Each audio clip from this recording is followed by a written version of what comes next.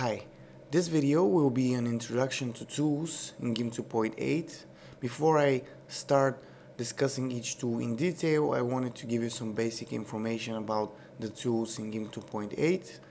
Now before I start, I wanted to tell you that if your GIMP doesn't look like mine, if you're missing the tool box here with the tools or the tool options, I'm going to include two links for two videos in the about section of this video and in these two videos you can learn how to set up your workspace and how to solve a lot of problems that may occur when you're just getting started with GIMP.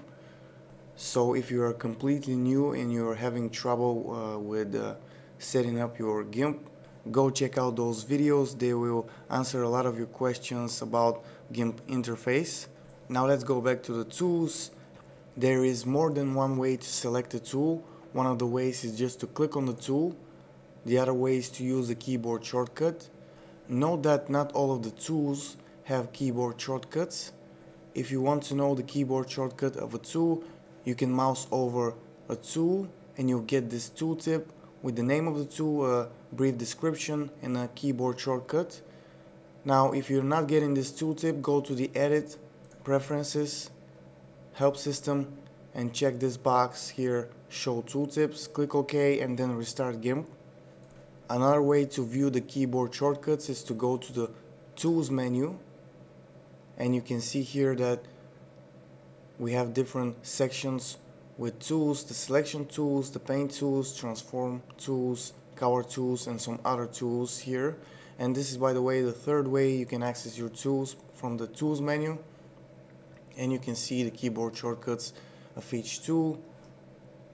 Also note that all of these tools are in the toolbox here except for the color tools which uh, you can also access from the colors menu.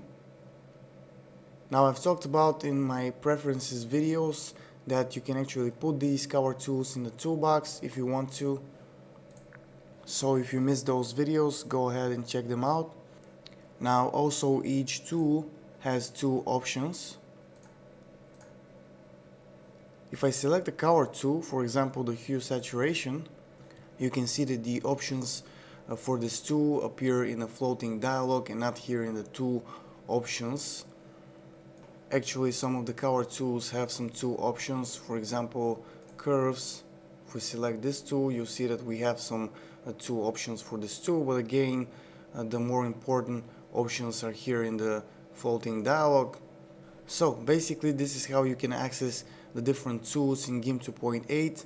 Also, it's a good idea to learn the keyboard shortcuts for the tools that you use uh, most often. And if one of your favorite tools does not have a keyboard shortcut, you can go to the edit menu, choose keyboard shortcuts, and here you can assign a keyboard shortcut to that tool.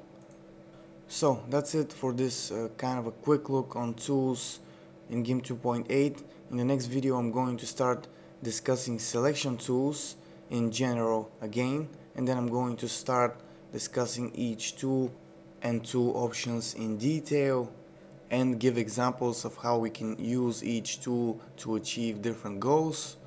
So that's it for this video. I hope that it was useful and if it was, make sure to like it, leave me a comment, subscribe, visit my channel for more. And that's it for now. Bye.